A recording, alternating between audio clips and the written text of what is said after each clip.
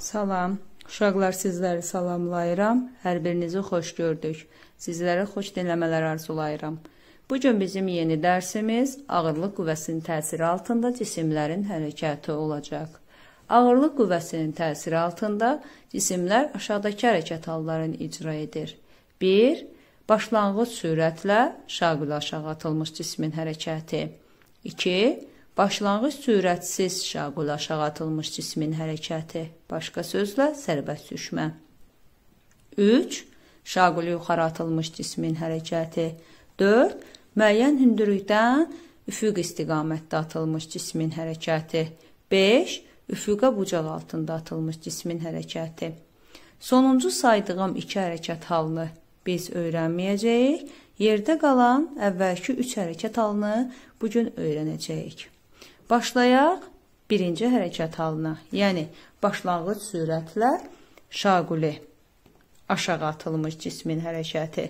Qeyd edək ki, bu saydığımız hərəkət halları müqavimət qüvvəsinin, yəni havanın müqavimət qüvvəsinin təsirini nəzərə almadan öyrəndiyimiz hərəkət hallarıdır. Fərz edək ki, müəyyən yer səthindən, daha doğrusu müəyyən hündürlükdən cismi şaquli aşağı atırıq. Yəni cisim yer səthindən müəyyən hündürlükdə yerə doğru atılır.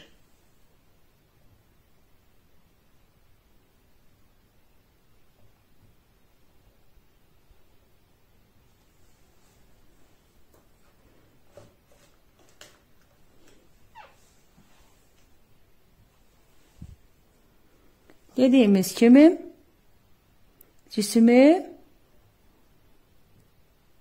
Yer səthinə doğru şaqulu aşağı atırıq.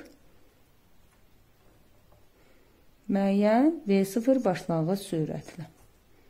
Bu da olsun bizim yer səthimiz.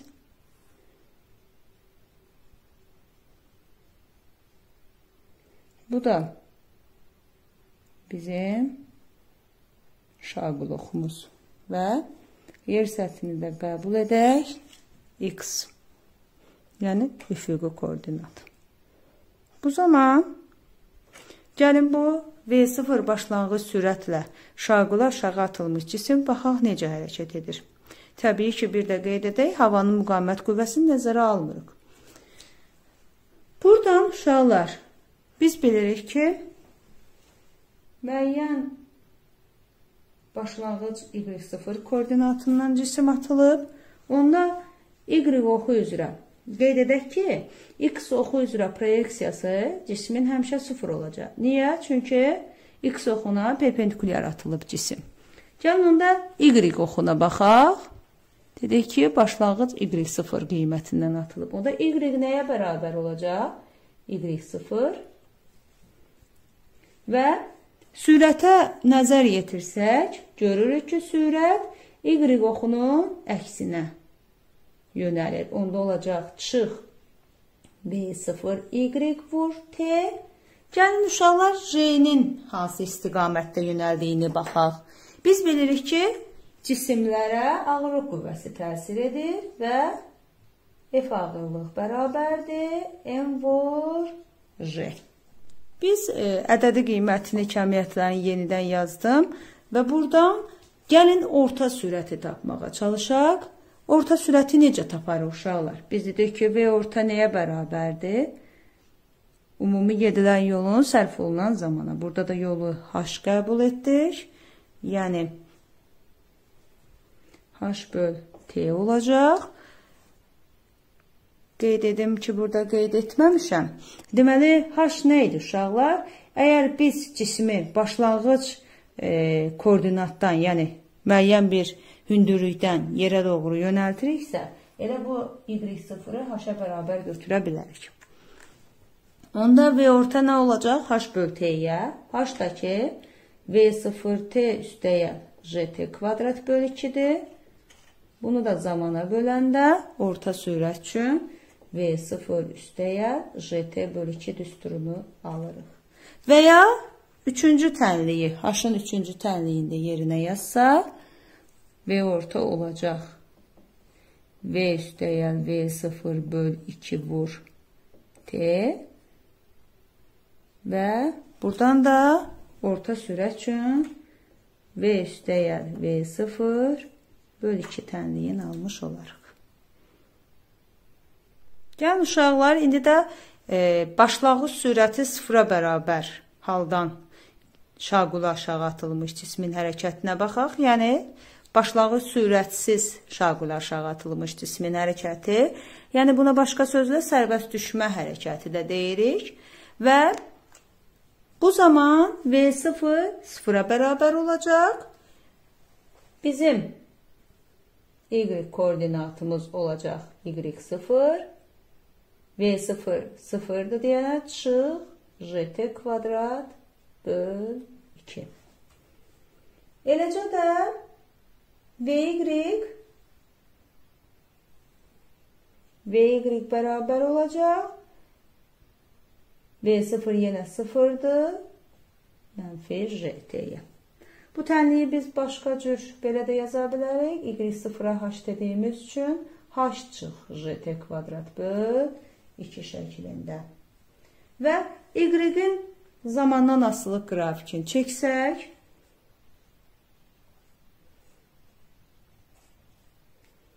Y-in zamandan asılı qrafiki yenə beləcə olacaq. Yəni bu şaqula aşağı atılmış cismin hərəkətinin xüsusi halı kimi də qəbul oluna bilər və VY də 0 olduğu üçün, daha doğrusu V0Y də 0 olduğu üçün VY-in zamandan asılığı bu şəkildə olacaq. Və həmçinin AY-də yenə şaquli burada göstərməmişik. Yenə J olacaq aşağı. Onda AY-in də AY-in də J-dən asılı qrafiki bu şəkildə olacaq. Bu kəmiyyətlərin ədədi qiymətinə baxaq. Yəni sərbəst düşmə halı üçün bayaq yazdığımız kəmiyyətlərin ədədi qiymətinə baxaq. Dedik ki, h bərabərdir. Yəni h y 0-ı h-ə bərabərləmişdik. h bərabərdir nəyə? rt kvadrat böl 2-yə. E, digər h bərabər idi nəyə? v kvadrat çıx v0 kvadrat böl 2j.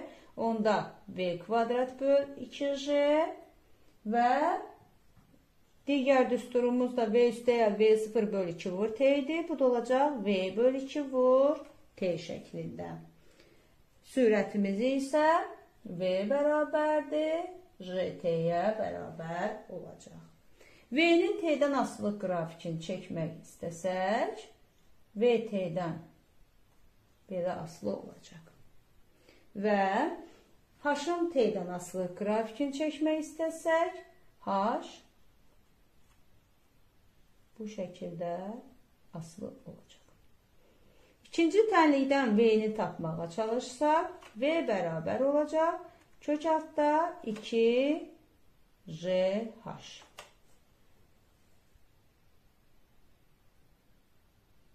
Buradan uşaqlar, e, biz e, nəyi tapa bilərik? Atılan cismin atılma müddətini. Yəni, cisim hansı zaman müddətində yerə doğru gəlib çatır. Yəni, burada cisim şaquli aşağı atıldığı üçün burada sadəcə nə var? Düşmə müddəti. Və düşmə müddəti nəyə bərabər olacaq? T-ni tapsaq, kök altında 2H böl J. Və ya buradan tapsaq, T düşmə olacaq. V0, daha doğrusu V böl J. Burada uşaqlar e, düşmə müddəti elə uçuş müddətinə bərabərdir. Niyə? Sadəcə cisim düşmə hərəkəti yerinə yetirdiyi üçün və sərbəst düşmə halı üçün Sərbəst düşmə halı üçün uşaqlar, gəlin eninci saniyədə gedilən yolun düsturunu yazaq. E, sən nəyə bərabər idi? A, 2n çıx 1 böl 2. Burada da olacaq hn bərabərdir j 2n çıx 1 böl 2. Digər halda olduğu kimi, yəni e, biz birinci mövzuda keçdiyimiz kimi eyni qiymət verməklə h-ı burada tapa bilərik və j-nin də yerinə sərbəşmə təcilinin qiymətinin yerinə qoyacağıq. Təqribi biz onu 10 götürürük. Və məsələn, birinci saniyədə desək, h1 nəyə bərabər olacaq? j 10-dur. 2 vur 1 çıx 1 böl 2 və buradan da 5 metr almış olarıq. Gəlin sərbəstləşmə halı üçün orta sürətində düsturu yazaq. V orta nəyə bərabər idi? H böl T-yə. Burada da H-ın yerinə JT kvadrat böl 2 yazsaq, alacağıq JT böl 2. Digər düsturda da V orta nə idi? V vur T böl 2 aparıb yerinə yazıb və zamana bölsək, V böl 2 düsturunu orta sürət üçün almış olarıq. Gəlin indi də şaquli yuxarı atılmış, başlanğıc sürətlə şaquli yuxarı atılmış cismin hərəkətinə baxaq. Bu cisim beləcə hərəkət edəcək və maksimal hündürlüyə çatacaq. Yəni bu nöqtəyə çatanda artıq başlayacaq şaquli aşağı hərəkət etməyə.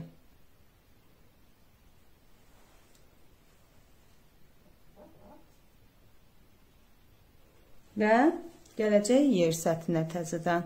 Deməli, onda həmin bu hündürlüyə biz maksimal qalxma hündürlüyü, yəni Hmax deyəcəyik. Və burada uşaqlar, gəlin hərəkət tənliyi yenə koordinat üçün yazmağa çalışaq.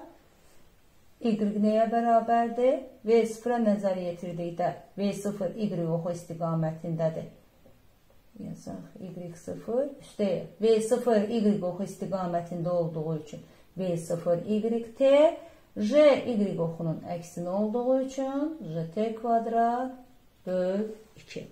Buradan nə görürük uşaqlar? Görürük ki v0-la yəni v0-ın y oxu üzrə proyeksiyası ilə j-nin istiqaməti əksdir və onda e, Biz deyəcəyik ki, hərəkət nə edirəndir? Bərabər yavaşlayandır. Yəni, şaquli yuxarı yönəlmiş cismin hərəkətinə biz bərabər yavaşlayan hərəkət deyəcəyik. Və gəlin sürətin də proyeksiyasını yazaq. Yenə sürət y oxu istiqamətində olduğu üçün V0 y-ə müsbət, J-yə isə mənfi deyəcəyik. Biz sürətin proyeksiyasında zamanın asılılığını yazdıq, eləcə koordinatında. Deməli, uşaqlar, dedik ki, cisim şaquli yuxarı hərəkət edir və şaquli yuxarı hərəkət edib bu nöqtəyə gəlib çatanda, yəni maksimal hündürlüyə çatanda artıq bu müddətə biz deyəcəyik Neyniyib cisim hündürlüyə qalxıb? Ona görə deyəcəyik, həmin müddət qalxma müddətidir. Və bu hündürlükdən, yəni maksimal hündürlükdən şaquli aşağı hərəkətə isə deyəcək, düşmə müddəti. Onda cismin uçuş müddəti qalxma müddəti ilə düşmə müddətinin cəminə bərabərdir və bu qalxma müddəti düşmə müddətinə bərabər olduğu üçün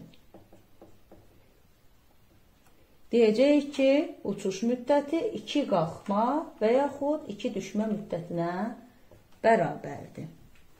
Və həmin e, bu y və vy üçün gəlin biz qrafikləri qurmağa çalışaq. Y-in zamandan asılı qrafikini çəksək, nəyi müşahidə edirik uşaqlar? Cisim əvvəlcə necə hərəkət eləyib? Yuxarı yavaşlayan,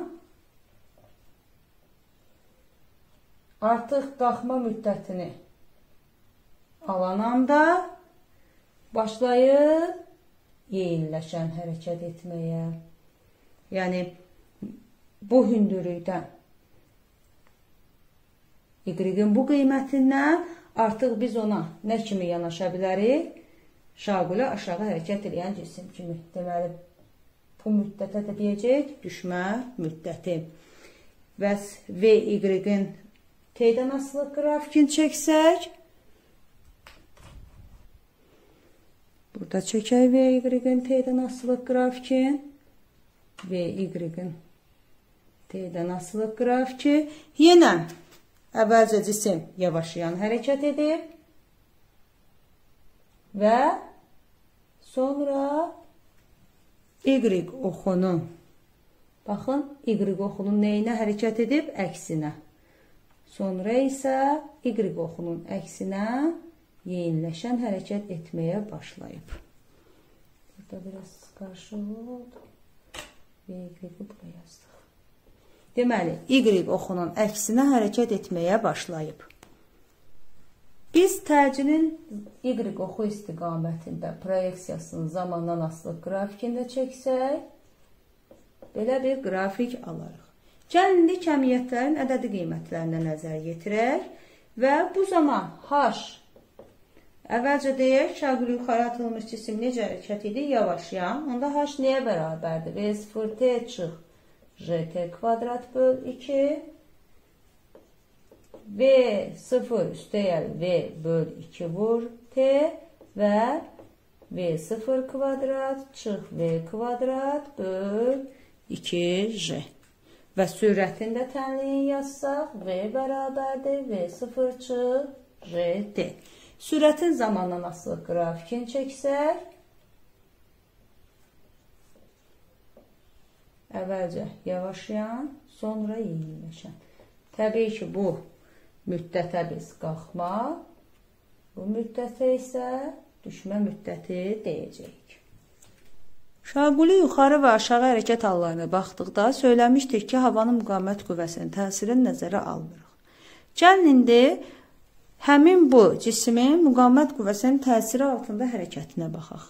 Və gördüyümüz kimi şaquli yuxarı atılıb cisim və bu zaman hərəkəti cismin olacaq yuxarıya doğru. Müqavimət qüvvəsi də həmişə hərəkətin əksinə yönələn qüvvədir. Onda müqavimət qüvvəmiz olacaq aşağıya doğru və ağırlıq qüvvəsində həmişə bilirik ki, yer səthinə doğru olur və bu da təbii ki, yerə doğru aşağı yönələcək. Onda Newtonun ikinci qanunu yazsa, MA1 olacaq. Müqavimət qüvvəsi hərəkətin əksinədir. Ağırlıq qüvvəsi də cisimlə yerin səthinə doğru onda olacaq F müqavimət üstəyəl MC. Və buradan A1-i tapsaq F-in böl M üstəyəl J şəklində hesablanacaq. İndi fərz edək. Cismi şagulə aşağı atırıq. Buna da deyək ikinci hal. Və bu zaman cismin təcilini tapmağa çalışaq. Hərəkət haradır? Aşağıya doğrudur. Onda hərəkətin əksinə yönələcək müqavimət qüvvəsi, yəni yuxarıya doğru yönələcək. Ağırlıq da bilirik, həmişə aşağıya doğrudur, yerin səthinə doğru. Onda MA2 bərabər olacaq. MJ çıx F müqavimət. Və buradan da A2-ni tapsaq, J çıx F müqavimət böl M şəklində təyin olunacaq. Biz e, qalxma müddətinin, uçuş müddətinin, sonra hündürlüyün ifadələrində qoyaraq həmin bu A-ların qiymətini asanlıqla məsələləri həll edə bilərik. Təbii ki, müqavimət qüvvəsinin təsiri altında hərəkətlərdə. Burada MA2 halı üçün biz yazdıq MJ çıx F müqamət. İstəyirəm onu da bir də izah verim nəyə görə MJ-dən çıxdıq. Çünki deyirik ki, cismi aşağıya doğru atırıq. Deməli, ağırlıq qüvvəsinin təsiri böyük olub ki, cisim aşağıya doğru hərəkət edib. Ona görə mj çıx f müqavimət yazdıq. Oradan da a2-ni tapanda mj böl f çıx f müqavimət böl f-dir və m-lər ixtisara gedəndən sonra a2 üçün j çıx f müqavimət böl m düsturunu almış oluruq.